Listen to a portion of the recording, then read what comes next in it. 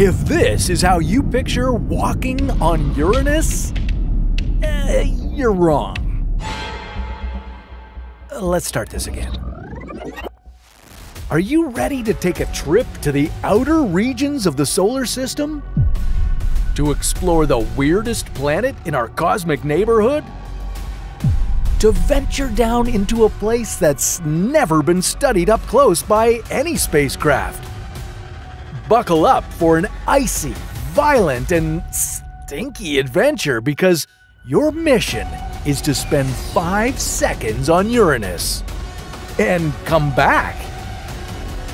If you can.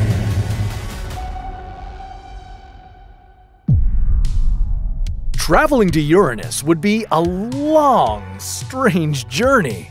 First, you'd have to spend 10 long years in a spaceship, speeding toward the outskirts of the solar system.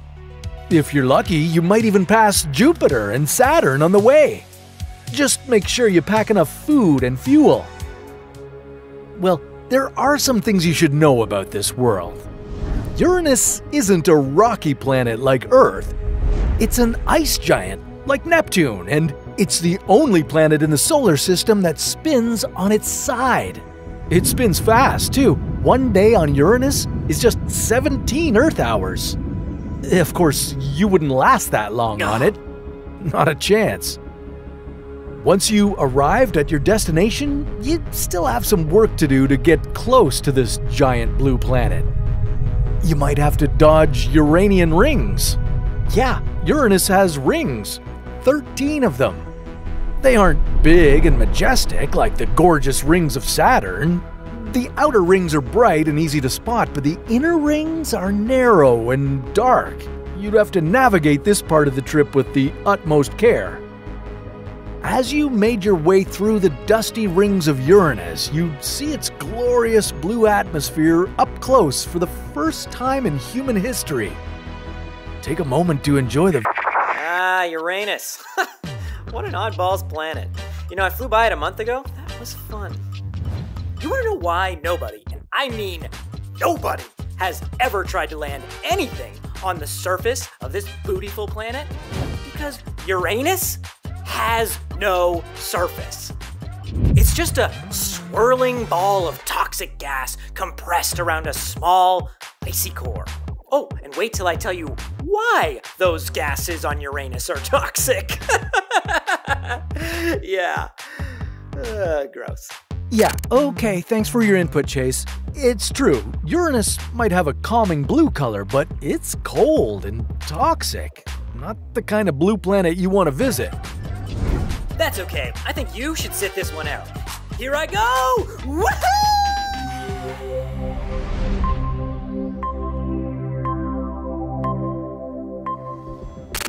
It's brisk here. Oh, Rico, what's the temperature? Minus 224 degrees Celsius. Oh, that's cold. Uh, that explains why I can't feel my fingers, or my toes, or the rest of my body. Okay, well, at least those five seconds are done. Okay, Rico, it's time to go home. Let's bounce. Impossible. If my calculations are correct, you will reach the icy core in 54.4 minutes. So? What? That wasn't the plan! And what's 0.4 of a minute? Use seconds, you dumb bot! I suggest you take this opportunity to study the planet up close and report back. Well, I suggest you take this opportunity and stuff it up your charging port! I don't have a charging port. No one cares, Rico! No one cares! Honestly, this sucks. Uranus smells like shit. Yeah, the reason Uranus smells so bad is that the clouds in its upper atmosphere are partially made up of hydrogen sulfide. Not only does this make the planet stink, but it's also pretty toxic. Whatever you do, do not inhale it. If you did, it'd make you faint and die instantly. What? Oh, it would have been real nice to know this before I jumped. Yeah, well, after falling through the stinky clouds at the top atmosphere, you'd find yourself in the mix of 82% hydrogen, 15% helium, and a bit of methane. Methane gas is what gives Uranus that bluish green haze because it absorbs light at the red end of the spectrum. Huh. He's, uh, these clouds are getting a little weird. kind of floaty. Yeah, the atmosphere on Uranus is very dense. After passing through its top layer, you'd stop falling and start swimming in it instead. As you were paddling deeper, you'd start getting pelted by frozen gas crystals. But at least the temperature would be rising. I don't know about that. I don't feel warm at all. Rico, give me the stats. The temperature around you has indeed gone up to minus 208 degrees Celsius. My calculations show you can expect minus 153 degrees Celsius in the lower atmosphere. Cool. Great. Ow. Ow. What is that? That? Well, that's diamond rain. Yeah, on Uranus, it rains diamonds. That's because the Uranian atmosphere is rich in methane, a single carbon compound. Under extreme pressure, the methane molecules break apart and crystallize into diamonds. But the worst part is the wind. You'd be dealing with winds gusting at speeds of up to 900 kilometers per hour. That's three and a half times stronger than a Category 5 hurricane here on Earth. Rico, it's getting tight in here. Oh, I can hardly breathe. And when I do breathe, it smells like ass. Of course. The pressure is a hundred times greater than the atmospheric pressure at Earth's sea level. You are approaching the mantle. The good news is you wouldn't splatter on anything because there's not much in the way of solids on Uranus. The Uranian mantle is made of water, ammonia, and methane ice. It would be pitch black in here, and thanks to the extreme gravity, you wouldn't be able to move a muscle. And it would still be incredibly cold. What you should be worried about is the immense pressure that would be rapidly increasing the closer you got to the planet's center. It would squish you before you ever got to the core. Ah, being crushed by Uranus. I always thought it would be way nicer. Well, in this extreme pressure environment, your carbon based body could turn into diamonds and drop down into the core. What a spectacular way to finish this one way trip to the center of Uranus. Chase? Oh, oh, right.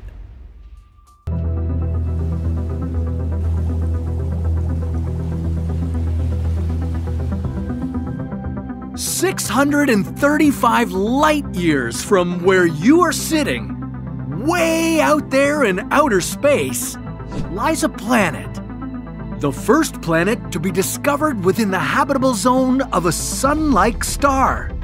Its name is Kepler 22b. When a planet is located within a star's habitable zone, it means there's a chance that liquid water exists on its surface. And where there's water, there's also the possibility of life. Human life. How long would it take to get to Kepler 22b? What would the weather be like over there? And why would you need to get jacked before arriving on this new planet? This is What If, and here's what would happen if you lived on Kepler 22b. Kepler 22b is what scientists call an exoplanet it's a planet outside our solar system. Spotting an exoplanet like Kepler 22b is often not easy. The bright glare of the stars they orbit tends to keep them hidden from our telescopes. What did scientists come up with to get around it? Looking at the stars themselves to see if they can find anything unusual about them. They spotted Kepler 22b using what's called the transit method. They watched Kepler 22, the star this exoplanet orbits around, and noticed that its brightness changes over time. That was because Kepler 22b was blocking the star's light. With this, scientists were able to learn both the size of 22b and how it orbits. And it looks like this distant space rock could become our next home. Okay, but what do we really know about Kepler 22b? Its mass is 36 times that of Earth, with a radius of two and a half times larger than ours. One year on Kepler 22b is 290 days. It's also located 15% closer to its star than we are to the Sun. If Earth scooched over that close to our star, you'd be fried. Kepler 22b, on the other hand, is lucky to have a sun that is remarkably similar to ours, but also smaller and cooler. This close proximity to its star allows the planet to receive about the same amount of sunlight as we get over here. The temperature on Kepler 22b could be about 15 to 22 degrees Celsius, similar to Earth's spring weather and quite habitable if you ask me. But our galaxy can be a cruel place, and not everything is good news. Some models suggest Kepler 22b is rotating on its side, kind of like our very own Uranus. This may sound insignificant, but it adds potentially deadly complications. This would mean that its north and south poles are shrouded in either darkness or sunlight for half a year. And this ain't simply a matter of whether you're a daytime or a nighttime person. A world like Kepler 22b spinning on its side means that temperatures could change from boiling to freezing, eh, which wouldn't be great for human life. I know, what a bummer, but don't despair yet because our galaxy is also big enough to include some hope. New studies suggest that Kepler 22b might be covered in an ocean 50 meters deep. And that ocean would be able to act as natural climate control, keeping the wild temperatures at bay. You see, an ocean can store heat in the summer and release it during the winter, which results in a mild climate. Like you needed another reason to live close to the water.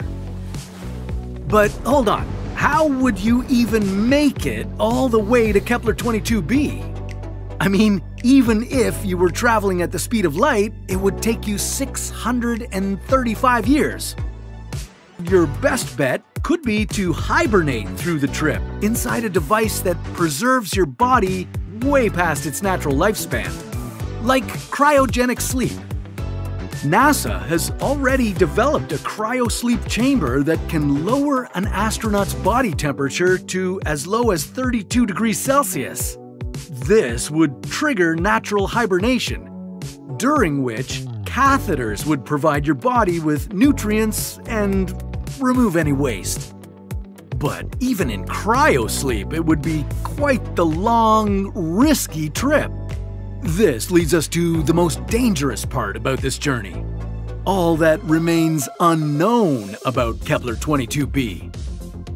For starters, we still don't really know what gravity is like there. It could be twice as strong as our planet's. If that was the case, a 10 kilogram sack of potatoes would now weigh 20 kilograms. And your body would also factor into the mix.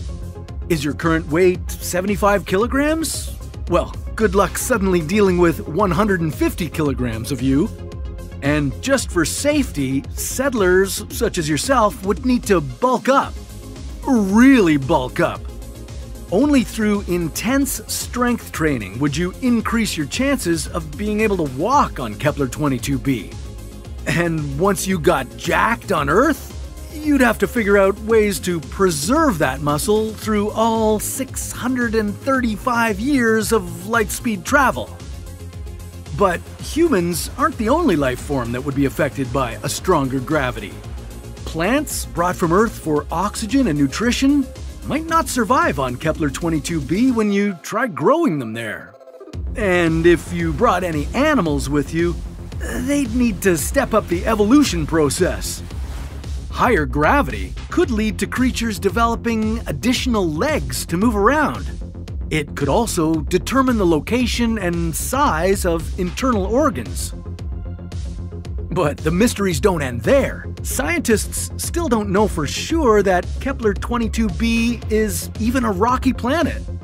It might be gaseous, similar to Neptune, or it could be entirely covered with water. If you and the other first settlers woke up from your cryo sleep and found yourself on a gas planet, Yeah, that would be a downer. You wouldn't have a solid surface to even land your ship, not to mention a place to set up camp. In that case, you and your crew would need to figure out how to build a cloud city orbiting the planet. If you landed on an ocean planet, a submarine town would be in order. Discovering Kepler 22b is a rocky planet would be hitting the jackpot then, right? Well, not so fast. Venus is also made of rock, and yet its dense atmosphere, consisting of greenhouse gases, makes it uninhabitable, with scorching temperatures far too hot for liquid water. If this was also the situation with Kepler 22b, our only chance at thriving on this exoplanet would be to employ robots that could build underground shelters. The place where maybe, just maybe, the temperature might be cool enough for you to bear. It just goes to show you that a prime location is no guarantee for human survival. And as exciting as it might seem to find other worlds to inhabit, our own Earth remains the perfect habitat for humanity.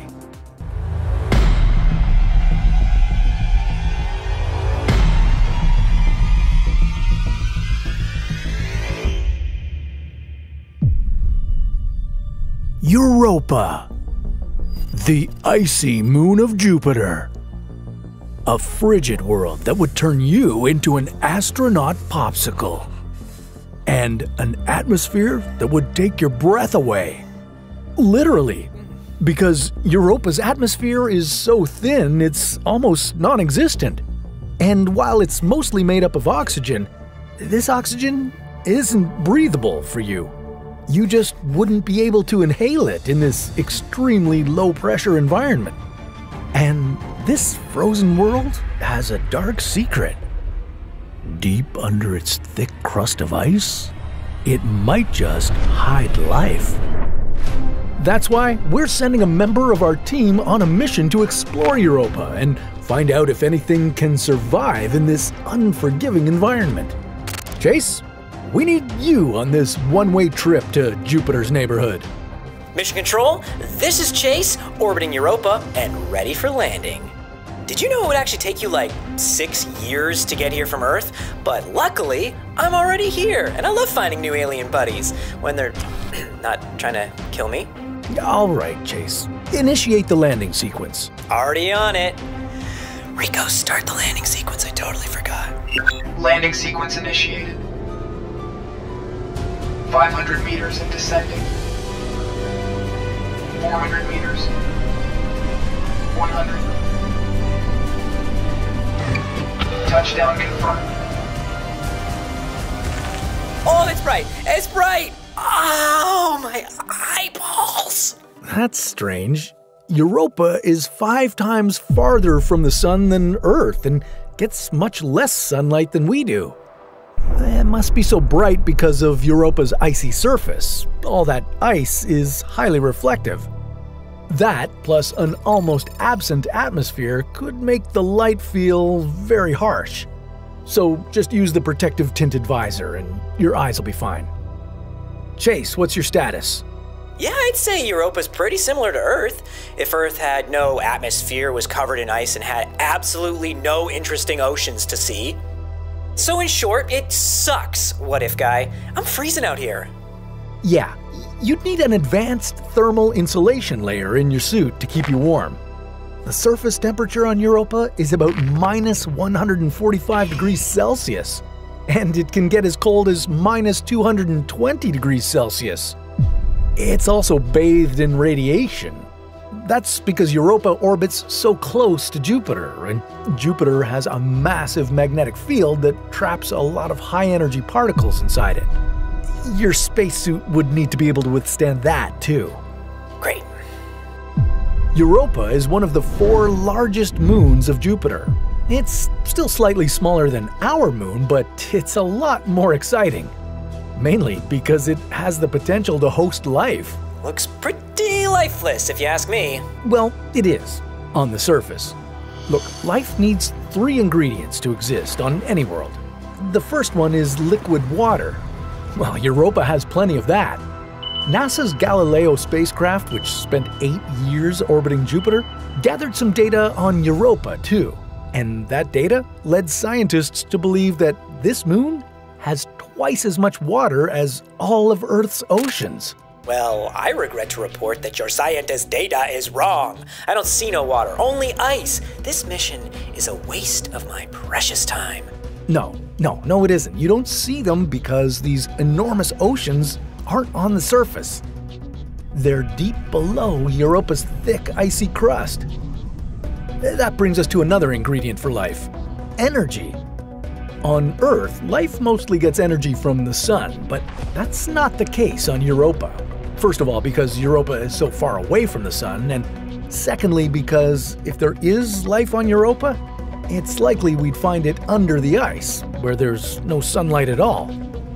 Europa gets its energy from the effects of tidal heating, and it has Jupiter to thank for that. Yeah, the enormous gravity of the solar system's biggest planet is constantly pulling on Europa, bulging and cracking its ice.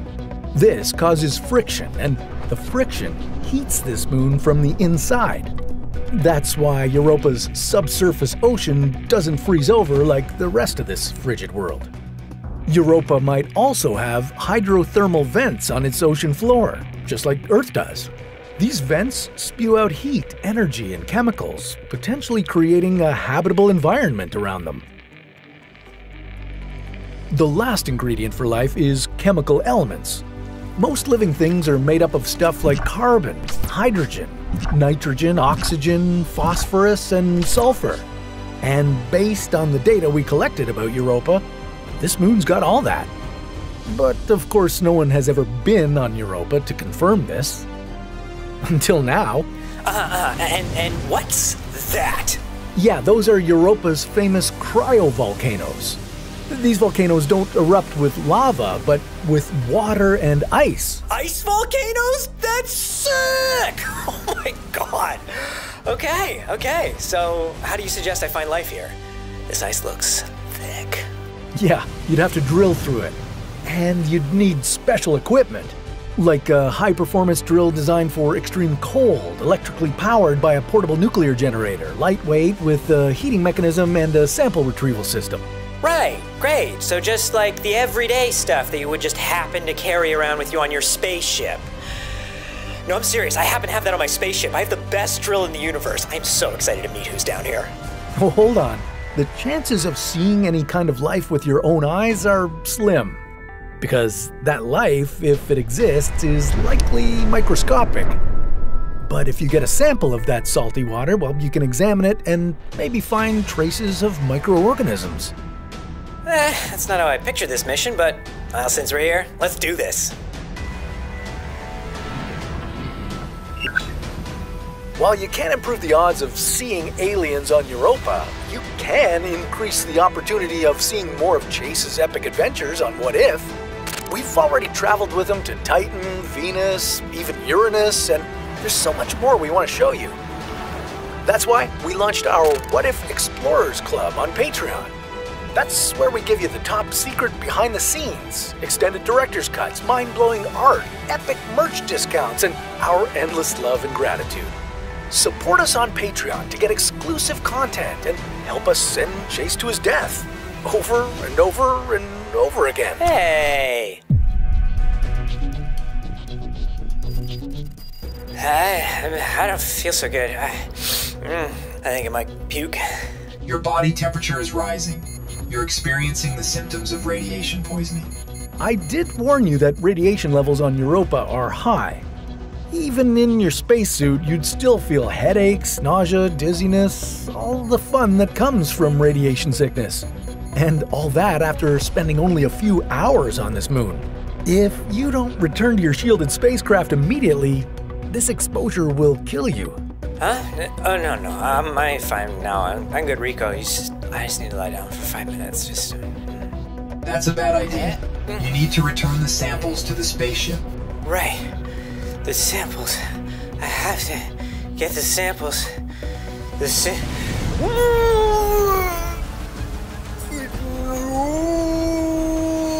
This is still so sick, though! The impact force from the cryovolcano has damaged your spacesuit. You're losing oxygen. I should have subscribed to the top tier of What If's Patreon. Uh... In the extreme conditions of Europa, without the full protection of a suit, you'd only have a few minutes to get to safety. In just one minute, severe frostbite would damage your exposed skin. After two minutes, you'd start shivering. Cue hypothermia. Another 10 minutes later, and you'd lose consciousness and freeze to death. Oh, wait, scratch all that. Looks like Chase's suit lost all the oxygen and he just suffocated. Now we'll never know if those samples had any life in them.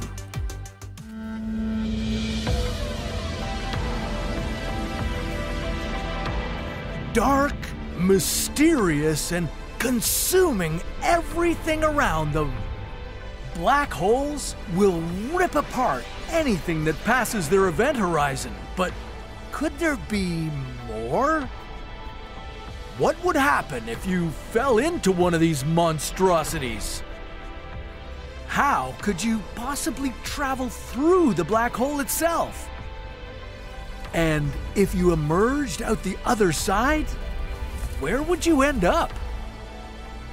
This is What If, and here's what would happen if you traveled through a black hole. Black holes aren't that much different than any other object in the universe that has mass, except that they are really, really dense. At their center is a singularity, basically an infinitely small point where all their matter is compressed. The more matter that's packed into a black hole's singularity, the stronger its gravitational pull. Considering that some black holes are the remnants of stars with more than 10 times the mass of our Sun, they have a lot of gravity. And every black hole has an event horizon. This is the point of no return. Once you cross that, there's no way back out. And unless you traveled as fast as the speed of light, you wouldn't be able to escape it. We don't know exactly what happens to something beyond the event horizon because once something is past it, there's no way of sending a message back. But odds are, gravity would rip you apart, atom by atom. Unless there was some other way out?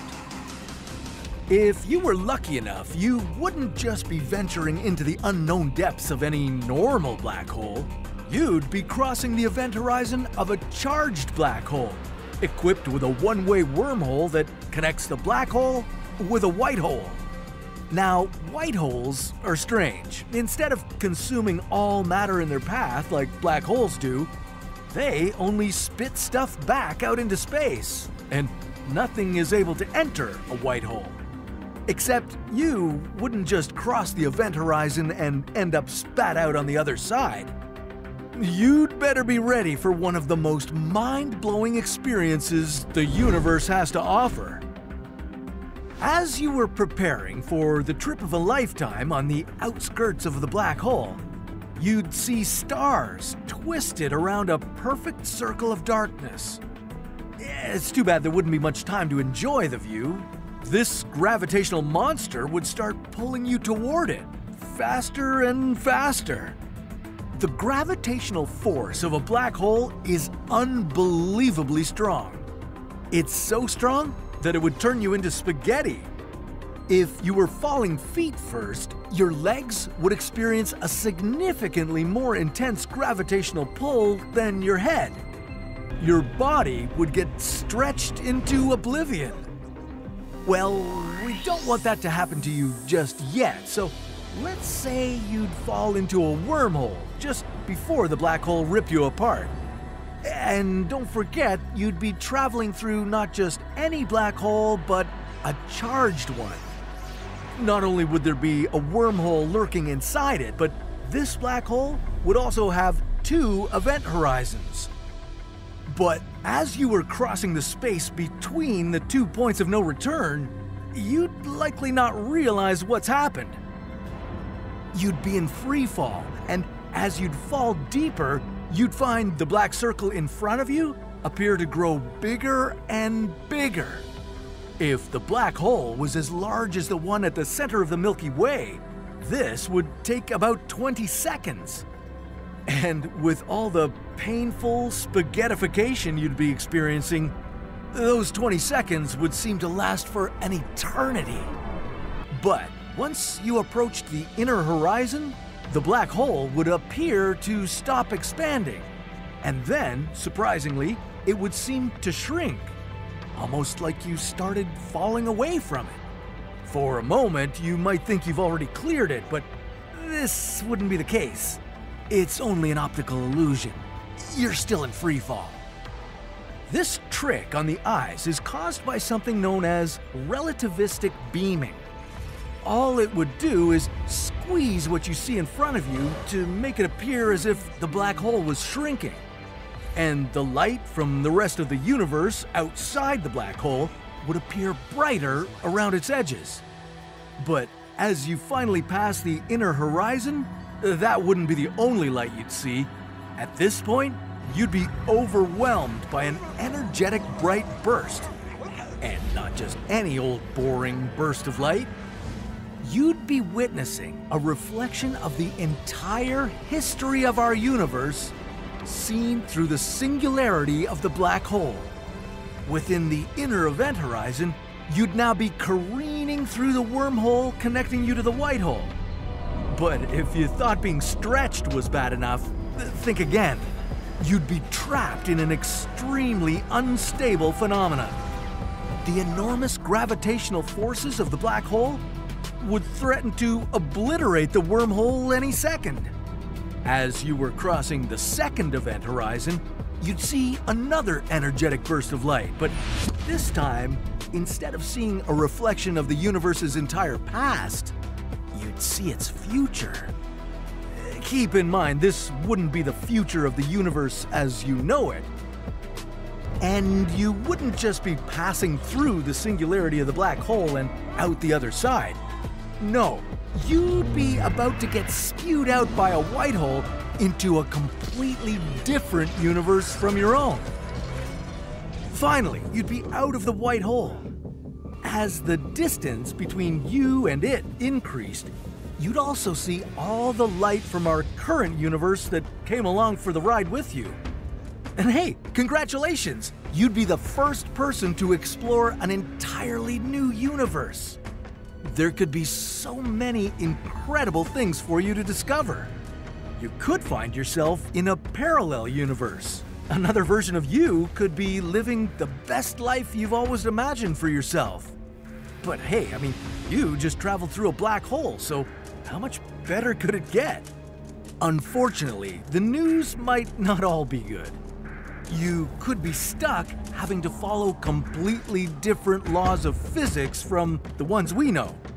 Gravity could be weaker, stronger, or even non existent. And the building blocks of matter could be made from dark matter. Or they could be made up of antimatter. In which case, your mind blowing joyride would be about to meet a deadly end. Antimatter and ordinary matter, like what you're made of, would annihilate each other upon contact. And worst of all, you wouldn't be able to just turn around and return home. Remember, you couldn't jump back into the white hole because it doesn't suck anything into it. That was a one way trip. Sorry. Well, I hope it was fun while it lasted. Titan. The most majestic of Saturn's many moons. And the most promising for life, too. It's got a beautiful view and liquid lakes on its surface. The only problem is, those lakes aren't filled with water. They're filled with liquid methane. Your mission is to take a five second dip in one of them. Of course, you'd have to land on Titan first, so buckle up for the most epic adventure of your lifetime. Titan is far. Even at its closest to Earth, this icy moon is still 1.2 billion kilometers away from us. You'd be looking at roughly seven years of travel alone in a spaceship. You'd need lots of provisions and a super advanced life support system. You know, it would be good if you made it to Titan and didn't freeze or suffocate somewhere in the middle of the solar system. Yeah, that's not going to happen to you. Just sit back and enjoy the ride.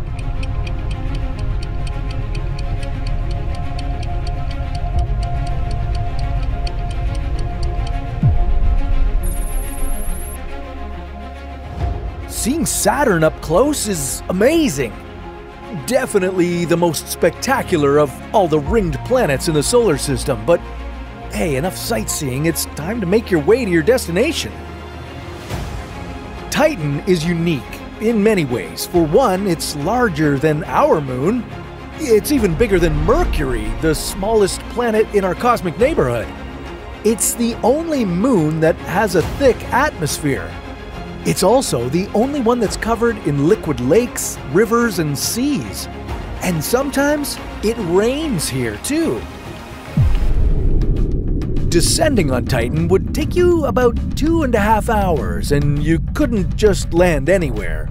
Like I say, Titan is covered in lakes, so unless you wanted to dip your entire spacecraft in liquid methane, you better choose your landing site carefully. Try this again.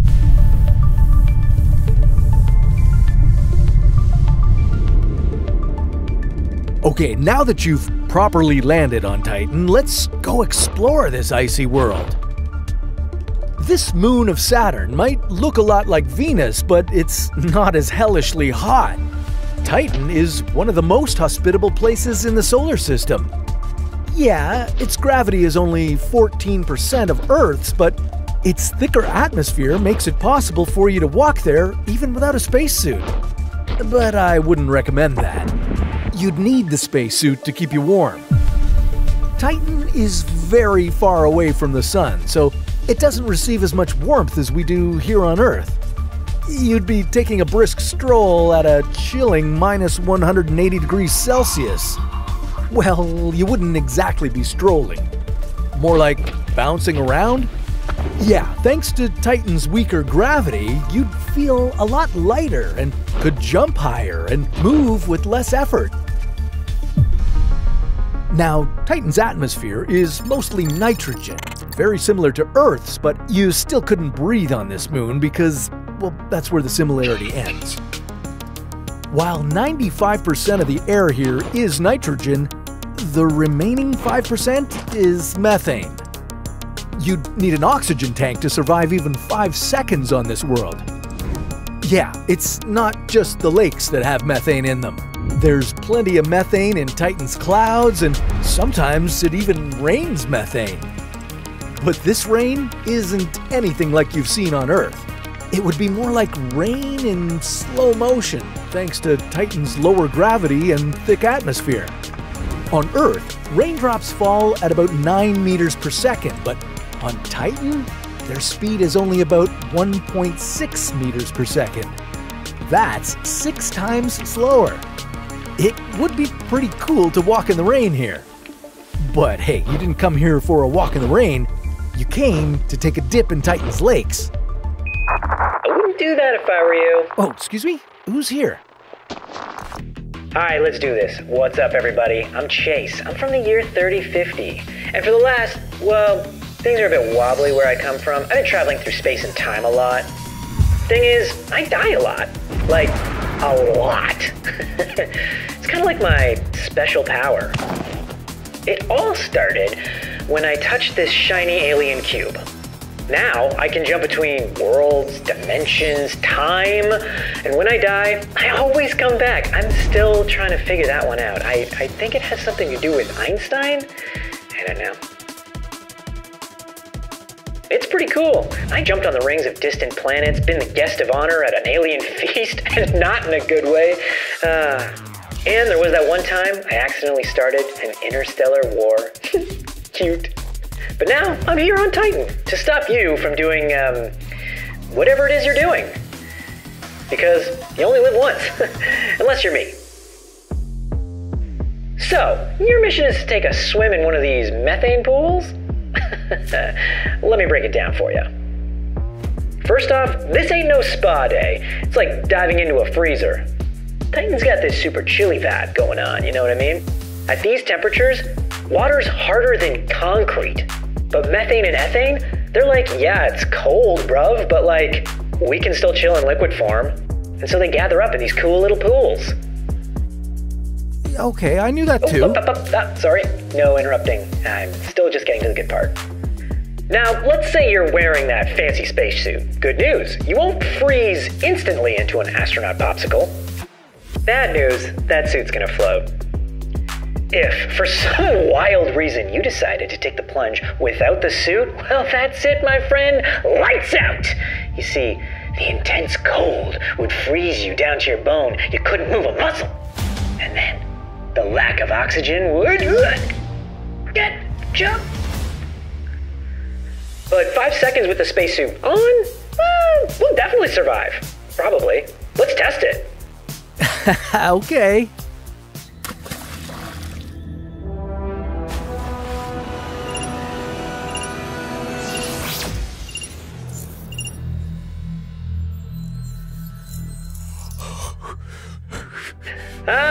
Seems like someone's spacesuit can't withstand the cold. Someone needs an upgrade. It's so refreshing out here. I think I'll just stay another five seconds just to really enjoy it. Ah, oh, oh, hot, hot, hot, hot, hot, hot. Uh, Chase? Ah, don't worry. These sparks are supposed to happen. Oh, it's like a stabbing, burning feeling.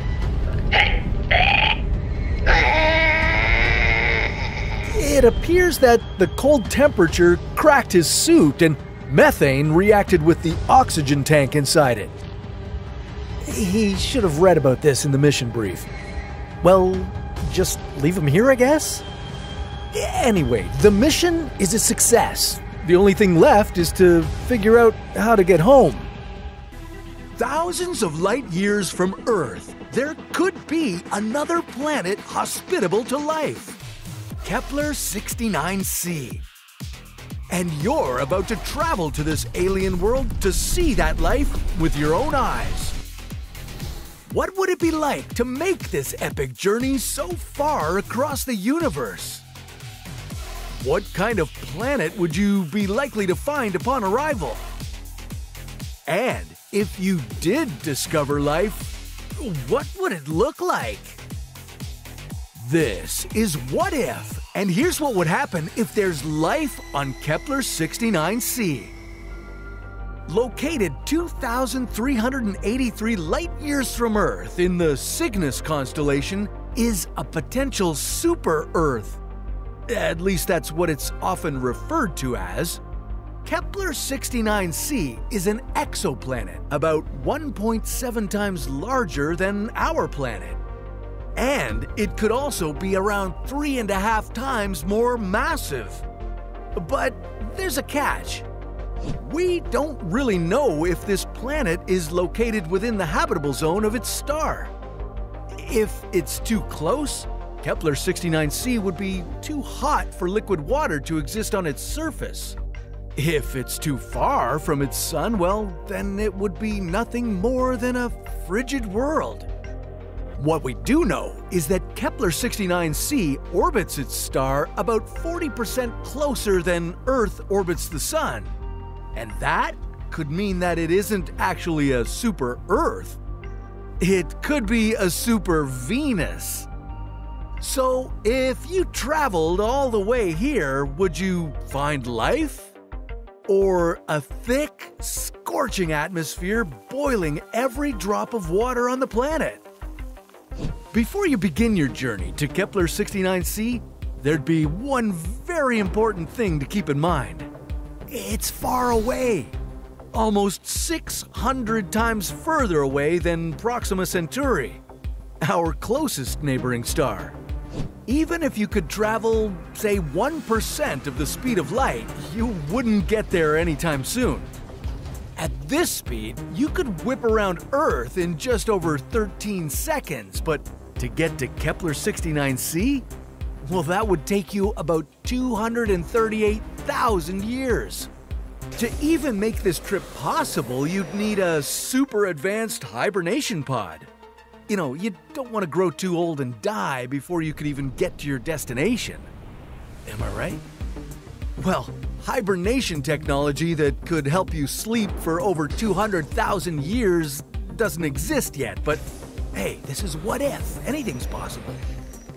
By the time your ship makes its arrival, any life that may exist on Kepler 69c today could evolve or advance into something entirely different. Think about it this way 300,000 years ago, humans were just beginning to create stone tools and spears.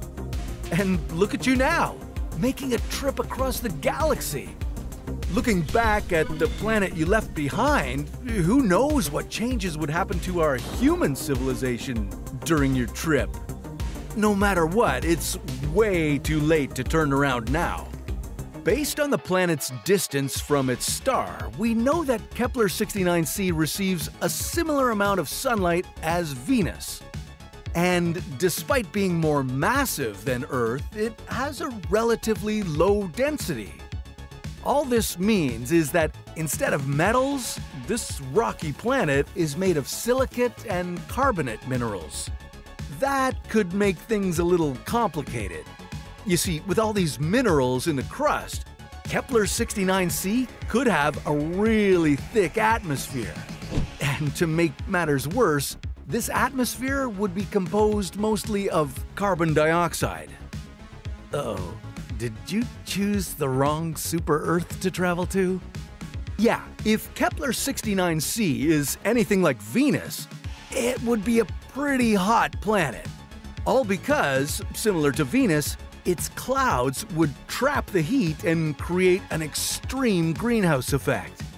Kepler 69c's atmosphere would be caught in an endless cycle of getting thicker and hotter. But nobody said this world should be habitable for you. Oh no, once you took off your helmet, you'd instantly melt and suffocate. Like I said, life on this planet would be completely different from what you'd imagine.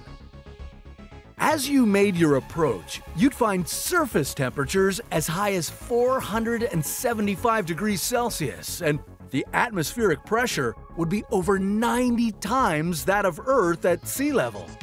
It would be like being 900 meters deep in the ocean, except you'd be on dry land.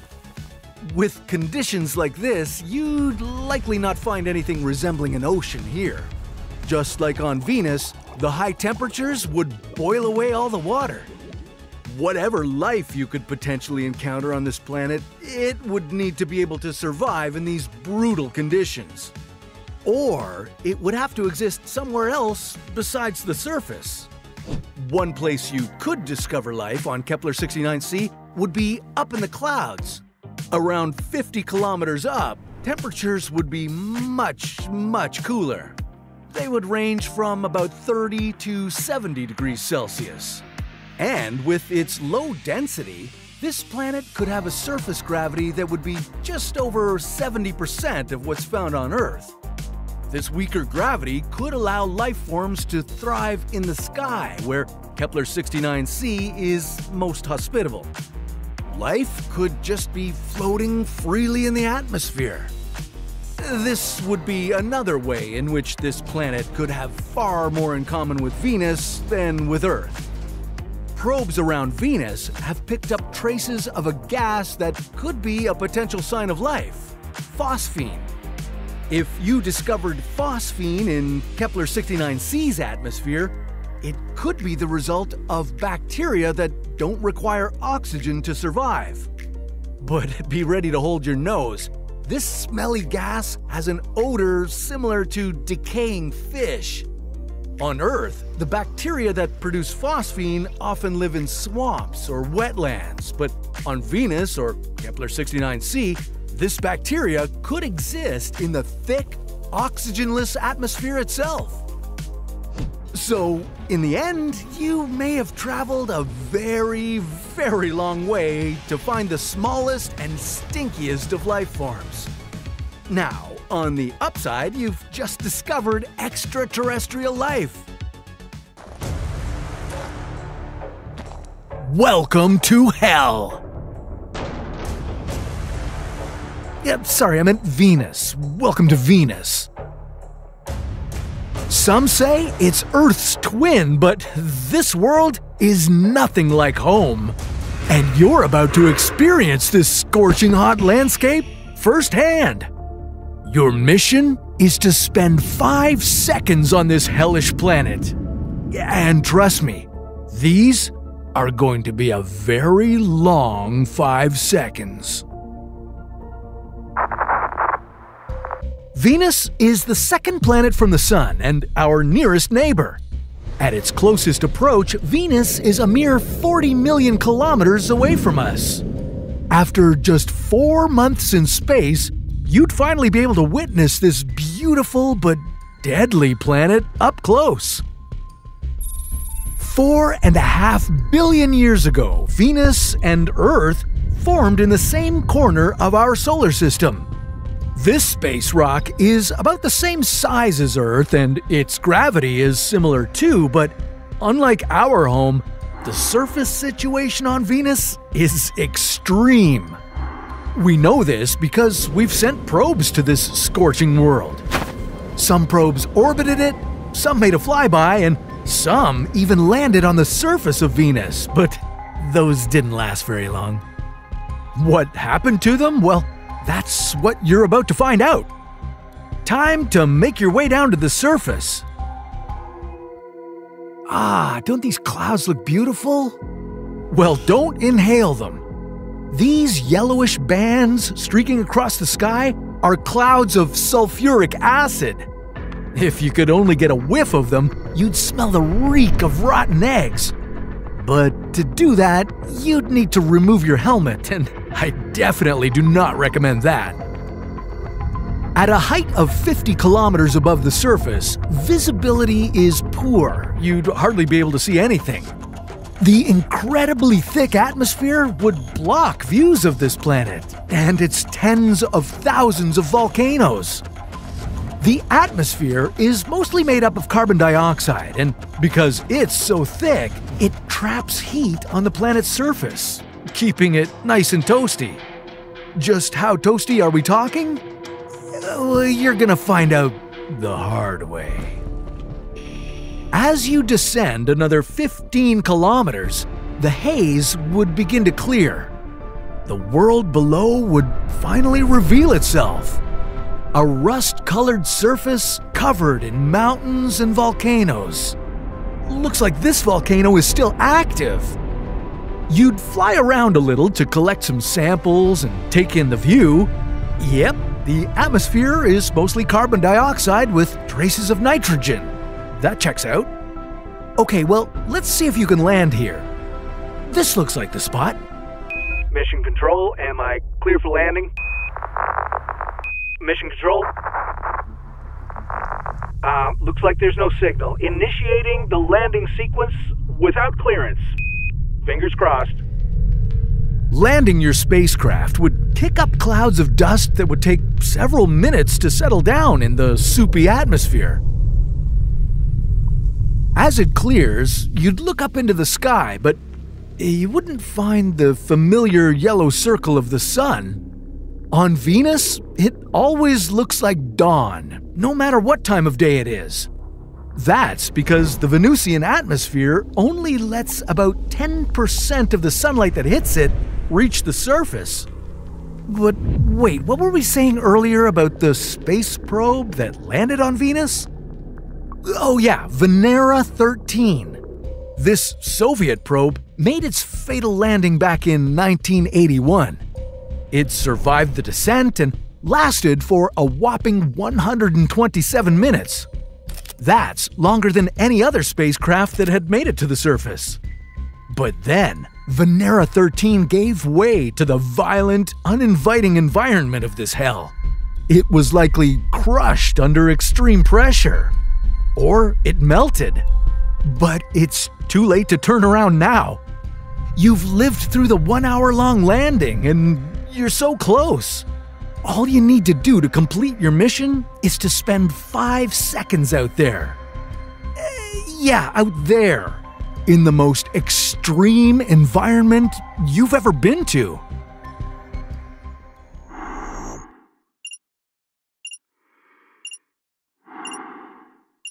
You made it! Whoa, the atmosphere is so strange. You can hardly lift your arms. Even though Venus has about the same gravity as Earth, you'd be feeling the sheer weight of its immensely dense air. It would feel like you were walking through water. Very hot water. And you'd be glad you were wearing so much protective gear. A quick look at your thermometer would tell you that it's a sweltering 475 degrees Celsius out here. That's hot enough to melt lead. Your pressurized suit would be working hard to keep you safe. Without it, you'd be crushed under all that pressure before you could even complete your mission. This isn't so bad after all. Hey, if a spacecraft could last over two hours some 40 years ago, well, you and your shiny new gear can survive longer, right? Venus is right here for you to discover. Just take a few more steps.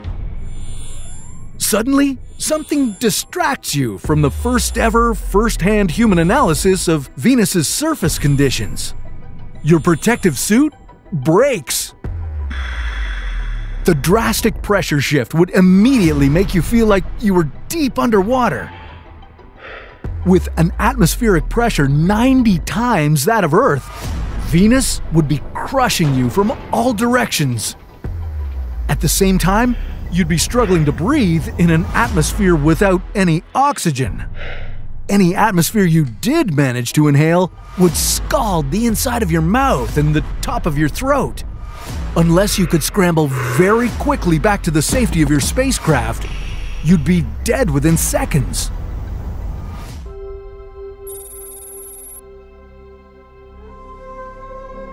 120 light years away from us, there's an exoplanet that can potentially host life.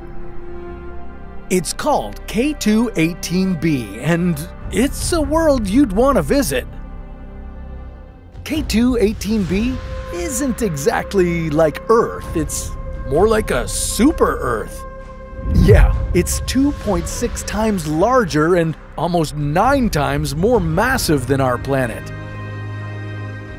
Scientists think it could be a Hycean exoplanet, which is just a fancy way of saying that it likely has a hydrogen rich atmosphere and is covered in liquid ocean. That means that K2-18b could be home to alien life. Only it would take a really long time to get there. If you were hurtling toward this space rock from Earth, you'd reach your destination in about 1.3 million years. Yeah, you heard right. Million. K2-18b has a lot of methane and carbon dioxide in its atmosphere. That's not exactly breathable air, so you'd still need a spacesuit to walk on this world. And I wouldn't be too hyped up about its ocean either. If an exoplanet has liquid on it, it doesn't mean that the liquid is water. It could be methane or ammonia, even acid. Like, even in our own solar system, there's a moon covered in liquid lakes, but these are methane and ethane lakes, and I uh, wouldn't recommend swimming there. K2-18b could have a pretty mild temperature. For an exoplanet, that is. At minus 100 degrees Celsius, you'd find this world incredibly cold. Now, the most exciting thing we've found out about this world is that it could have traces of dimethyl sulfide. Woot woot! Well, on Earth, this molecule can only be produced by living things, and that means K2-18b could be home to alien life. Now, it doesn't mean that this life would be intelligent, it could be aquatic or microbial. maybe even complex life if the conditions for it are just right. We won't know for sure unless we travel to explore this interstellar world. Now, how do we know all this? Well, we had the James Webb Space Telescope look at this distant world and take detailed measurements of its atmosphere. Most of the exoplanets have been discovered using what's called the transit method. It's when a planet passes in front of its star and blocks its starlight.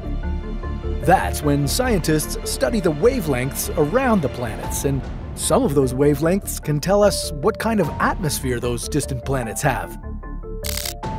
The problem is, exoplanets are really far away. Trying to figure out what their surfaces are like just by peering through even our most powerful telescopes is not easy. Some scientists will argue that K2-18b isn't a super Earth at all, but a mini Neptune. And that's a bummer because, as you know, Neptune is an ice giant. And if K2-18b is also an ice giant, then the chances for alien life on this planet don't look so good. Now, you don't have a million years to travel to this world to discover it for yourself, so maybe we should look at a world that's a lot closer to Earth. Like Proxima Centauri b. Proxima Centauri is the closest star we've discovered, only 4.2 light years away from Earth. It's part of the Alpha Centauri star system, with not two, but three stars orbiting each other. The exoplanet Proxima Centauri b orbits only one of these stars, but you'll still see the other two stars as bright dots in the sky. This exoplanet is slightly larger than Earth and revolves uncomfortably close to its host star. Luckily, that star is a red dwarf, and that's much cooler and smaller than our sun. Which is good news because that means this planet isn't getting toasted like Mercury. Scientists estimate Proxima Centauri b has an average temperature of about minus 39 degrees Celsius. That's pretty comfortable as far as alien worlds go. The bad news is that we still don't know much about the exoplanet's gravity or atmosphere. It might be our best candidate to set up an interstellar base, but it also could have a harsh environment, unsuitable for humanity's future home. It might even have an ocean, of acid, or something deadly like that. The only way to find out is to travel there. And if Proxima Centauri b doesn't work out, well, don't worry, there are plenty of potentially habitable worlds out there. Like this one.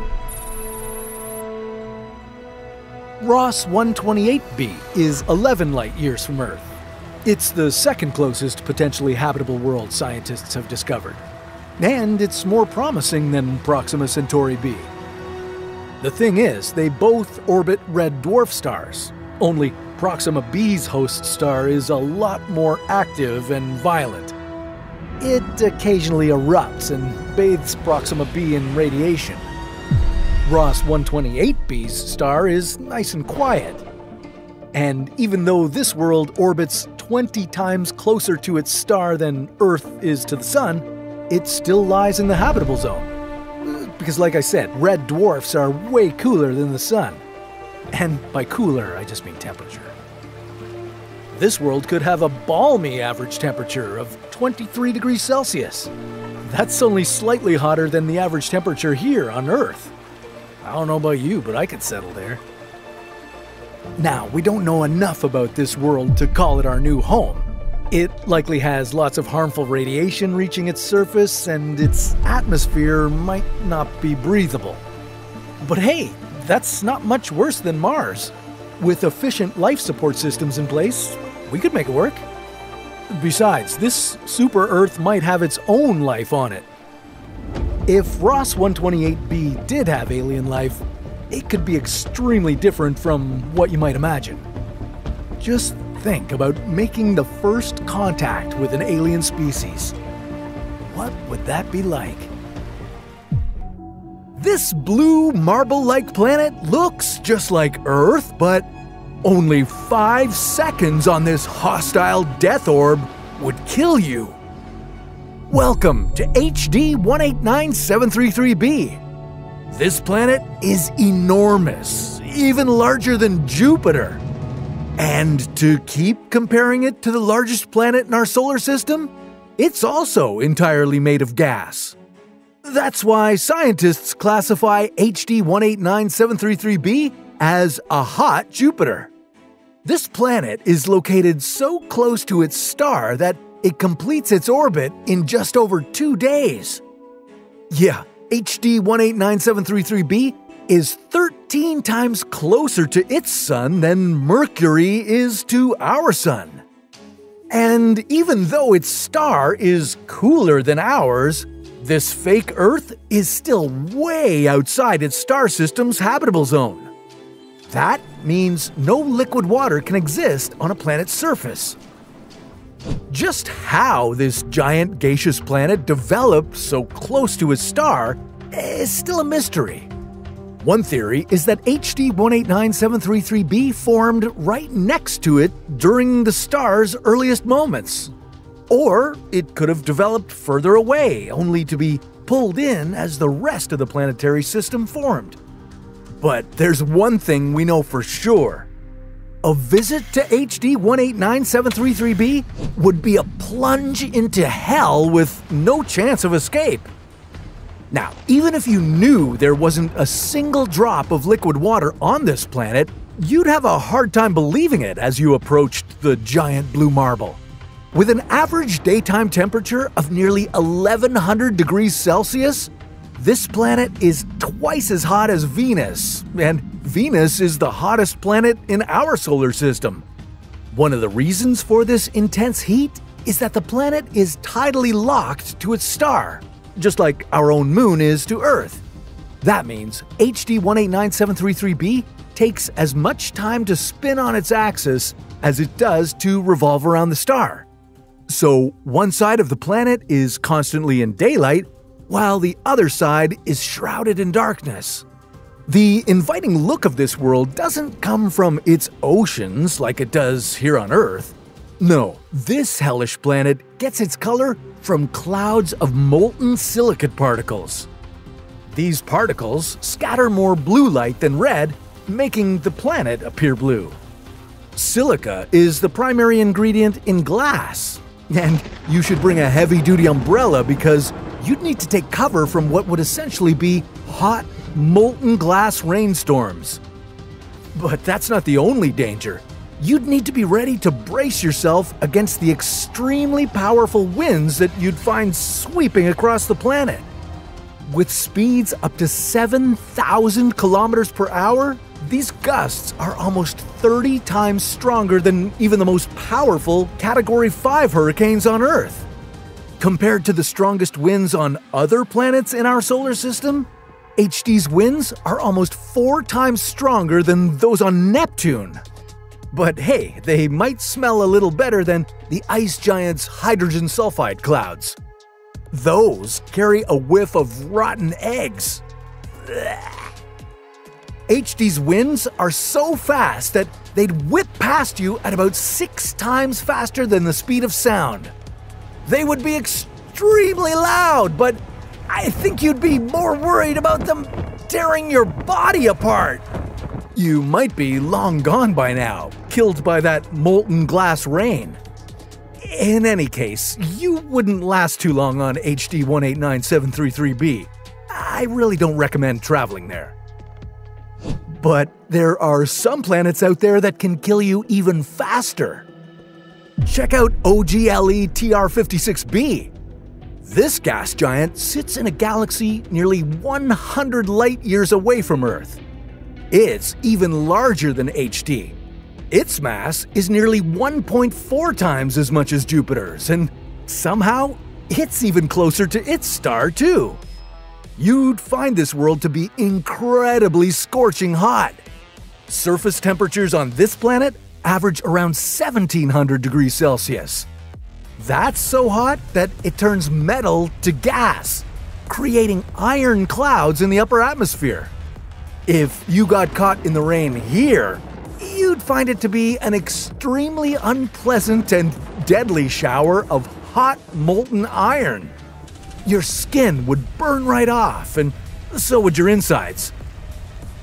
But things could get even hotter. Some 670 light years away from Earth, there's a planet so hellish that it's tearing molecules apart. Meet Kelt 9b. This gas giant is almost three times more massive than Jupiter.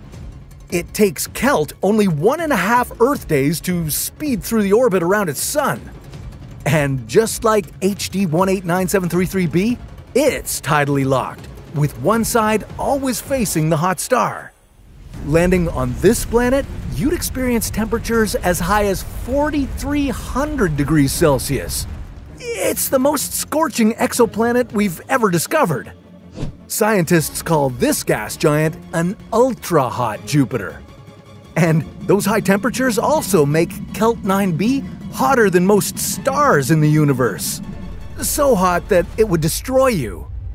Come on, this world rips apart molecular hydrogen gas. What do you think it would do to your body? But before you even arrive on this hot planet, you'd be exposed to deadly amounts of radiation coming from its host sun. Yeah, Kelt 9b receives about 44,000 times more energy from its star than Earth does from the sun. This radiation would cook you alive instantly. Okay, if you somehow managed to survive all the lethal radiation of Kelt's star and the unimaginable heat of the planet, well, you'd still have to take on its incredibly strong winds. Scientists think those winds could reach speeds of 60 kilometers per second. Yeah, that's 30 times faster than the winds on the deceivingly Earth looking planet HD 189733b. Okay, so if I get this straight, Kelt 9b would swirl you, burn you, and tear your molecules apart. Hmm, 1 out of 10, would not recommend. If you think meeting your demise on these kinds of hellish planets could be fun, well, I have some better travel suggestions for you. You know, not everything out there in space is utterly terrifying. There are planets that orbit their stars at a safe distance, just like the Earth orbits the Sun. We've yet to study those worlds in depth, but some of the exoplanets we've found so far could be even better for life than Earth. And you know what? That's a story for another What If.